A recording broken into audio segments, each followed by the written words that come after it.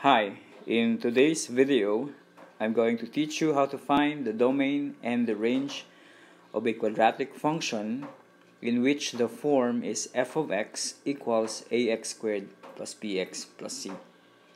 So the technique that I'll be teaching you here can only be applied if the function is of the form ax squared plus bx plus c. For a quick review, domain is this is the set of all possible values. Set of all possible values. Possible values for x that you could supply to the function.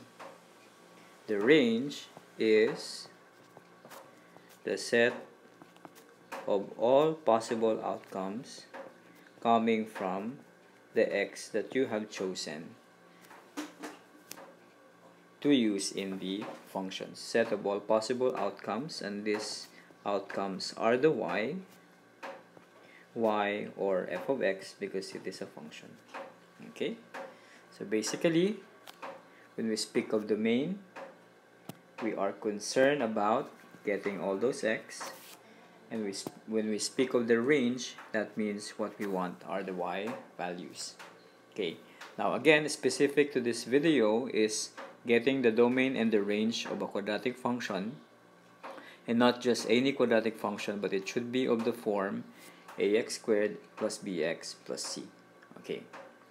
Now when we have a quadratic function finding the domain should not be difficult. Actually later on you will see that you only need about 5 seconds or less to determine the domain of the quadratic function. Why? Remember that a quadratic function, ax squared plus bx plus c, can only have two possible graphs. And that could be the one opening up or the one opening down. Okay. Now with these two cases, suppose we have a random graph in the xy axis. If we are getting the domain, it means we are trying to get all those x that is represented in the graph. Now because it is a parabola, it means this arrow is going up at the same time it's going to the left. This arrow means it's going up and it's also going to the right. And going to the left and right means going to infinity, negative infinity and positive infinity. So visually, it's very clear that it is possible for us to get or to have all the x values be represented in the graph. Meaning to say, if I choose any random x anywhere in the x-axis, there is always a corresponding value for the function or the y. So that means the domain of a quadratic function is the set of all real numbers.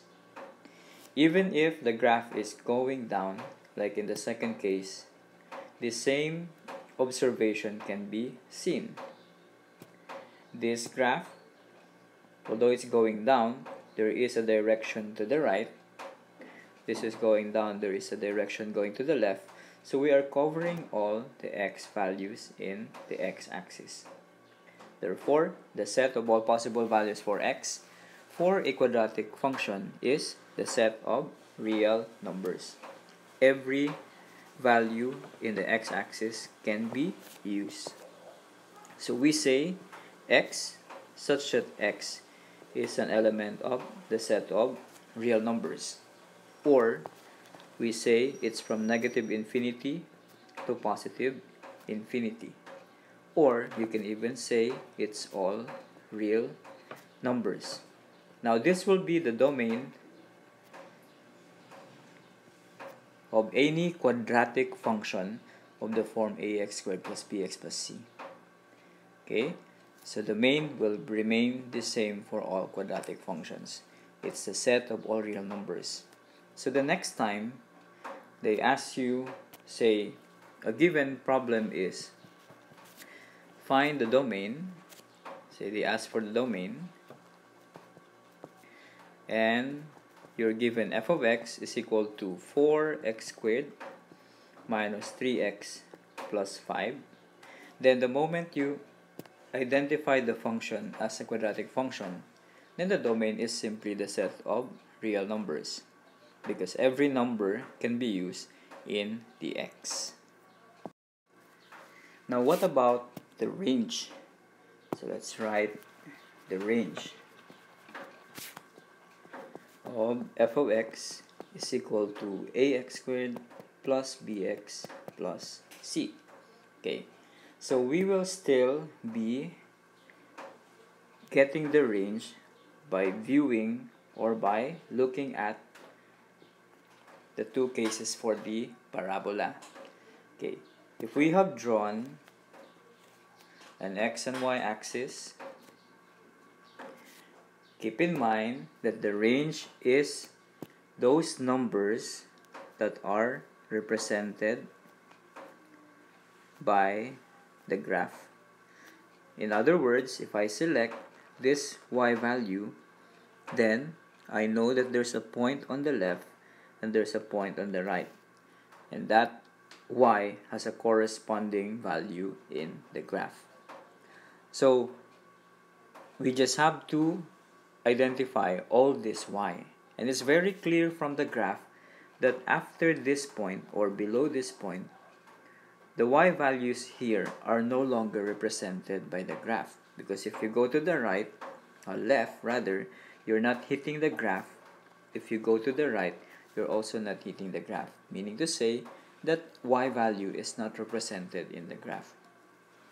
Now, as we can see again, then this must be a very important point because that seems to be the boundary of the range because the range should be above that number or equal to that number and that will be our key in identifying the range of a quadratic function.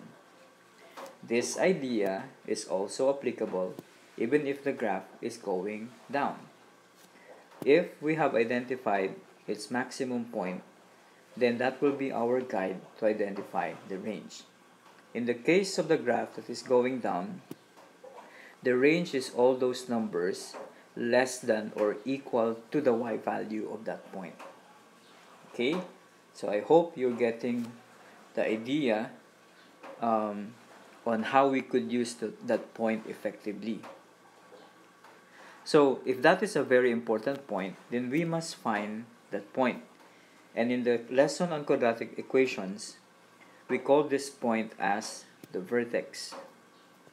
The vertex is a point, so it must have an x and y. And what we are after is to identify what is that y.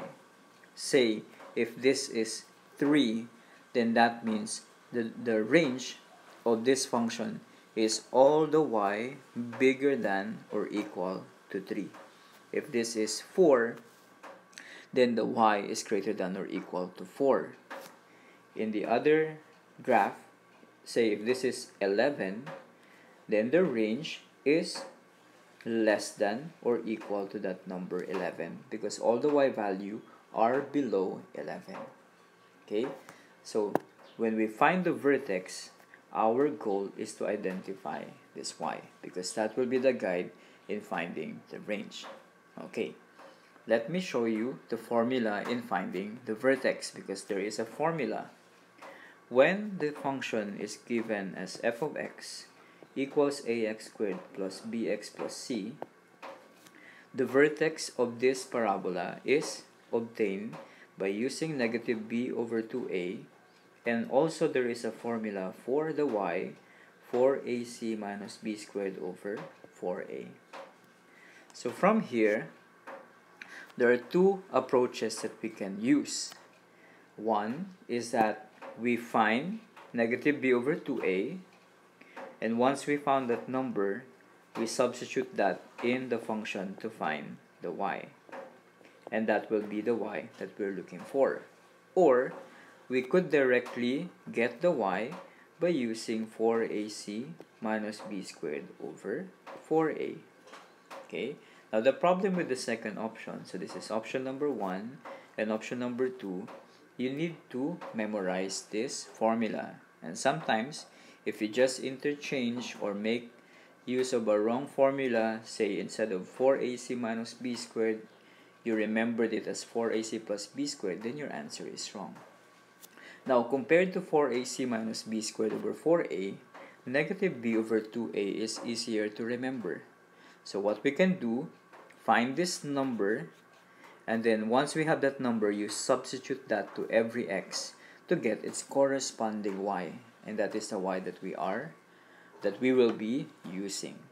Okay, now let us apply this in an, in an example. Say, if I am given, or we are given f of x is equal to x squared minus 2x plus 3, and the question is find the domain and then find the range. Okay, again, the domain is x such that x is an element of the set of real numbers, again, because it is a quadratic function. No more uh, solutions needed. All we need to have or all we need to know is that it's a quadratic function. So every number can be or every x can be used in the function. Now for the range, again, we will be using the vertex. Okay, so we will apply the negative b over 2a. So if we have x squared minus 2x plus 3 the first thing that we have to do is to identify what is A, what is B, and what is C. So A here is 1 because that's 1x squared. B is negative 2 here. And then C is equal to 3. And then we find the value of negative b over 2a. Take note that negative b over 2a is the x value of the vertex. So negative b is negative of negative 2 divided by 2 times a which is 1. So this is positive 2 over 2 which is equal to 1. So that means the x value of the vertex is 1. So we're left with finding the y which is what we really need. So to find the y, take note we are working with the function x squared minus 2x plus 3. So that y should come from x squared minus 2x plus 3. And it's the y when the x is equal to 1. So when we compute for 1 squared minus 2 times 1 plus 3, you should be able to solve that this is equal to 2. So the y value is equal to 2. Okay. So this is now the vertex. And if we have f of x equals x squared plus minus 2x plus 3, the maximum point or the minimum point should be 1 or 2. Now here's the key. How do we know now if the 1, 2 is the maximum point or the minimum point? Okay, I think you have learned this already in earlier algebra. The parabola will open down if the x squared is uh, negative and opens up when the x squared is positive. And as we can see, x squared is a positive x squared. So the graph must be going up or opening upwards. Hence, the vertex is acting as or is the lowest point. So the range is greater than or equal to the y value of the vertex.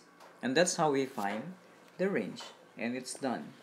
So we say the range is y such that y is an element of the set of real numbers and y is greater than or equal to the y value of the vertex which is 2.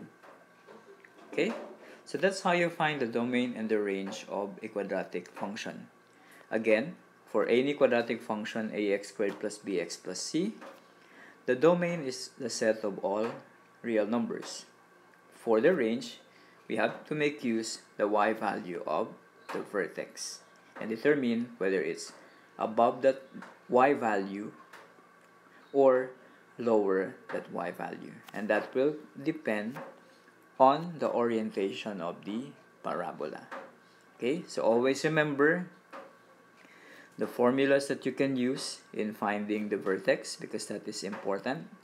Okay so here in this video we made we use just negative b over 2a but you can also use 4ac minus b squared over 4a directly.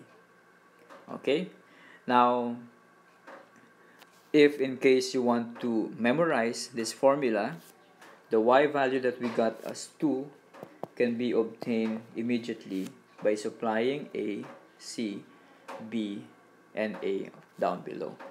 I'll be leaving that with you as an exercise. Now show that the y value is indeed 2 when we place a c and b. Okay that's it